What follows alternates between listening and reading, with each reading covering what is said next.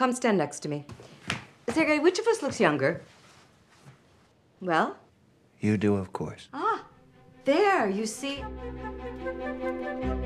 You're a real writer now, and I'm an actress. I think there should be a love story.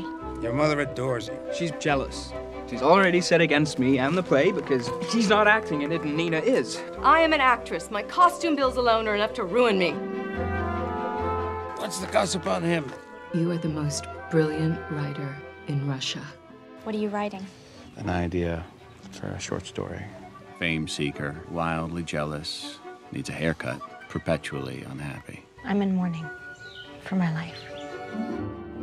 I just never let myself go like some people. I could play a girl of 15. Why are you so nervous? I'm afraid to perform for your mother.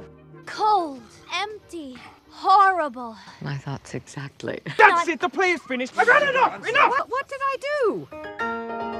Have you seen Nina? She went to the lake with Boris. What does it feel like to be famous? I hope you're not flattering him. You look at me as if I'm a stranger. Don't follow me. You have lost your mind. I don't care! Enough! He's challenged me to a duel. Oh,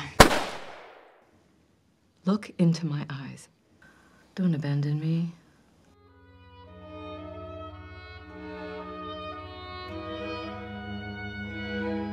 You can't sit around always hoping that something will happen. Remember how good it was before? Stay here with me.